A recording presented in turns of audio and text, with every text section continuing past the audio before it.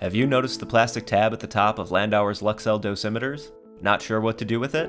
Landauer Luxel dosimeters are an important part of your radiation safety program. That's why it's vital to properly handle your badge to ensure accurate radiation dose measurement. And keeping your legal dose of record accurate and up to date is a regulatory requirement. A tab at the top has the word remove embossed, but this can easily be missed due to the clear packaging.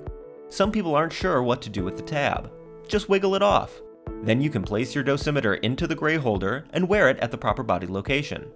When you remove the tab, Landauer can properly read and analyze the dose, while you and your RSO can be assured your legal dose of records are in proper order for your safety and compliance. Thanks.